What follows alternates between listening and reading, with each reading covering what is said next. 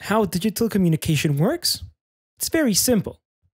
There's this big office building where there's a big table with fancy guys in ties and fashionable ladies wearing huge stilettos. Now, they're talking and planning, and after all the ruckus, they come up with a great idea. Now, the problem is that they have to say it to everyone.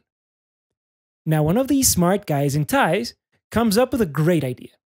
How about making a video and sending it to everyone? That should do it. Now he grabs the phone and calls his good old friend from school, who never wears a tie, and says, Hey, we need to say this to like a thousand people. You make videos, right? That works. Now the guy says, Sure. They meet up, do business, shoot a video, and make a super powerful communication tool together using a camera, a computer, and a lot of work from the guys who don't wear a tie.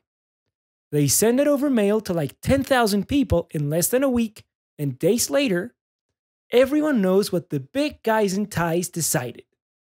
And that's how it works.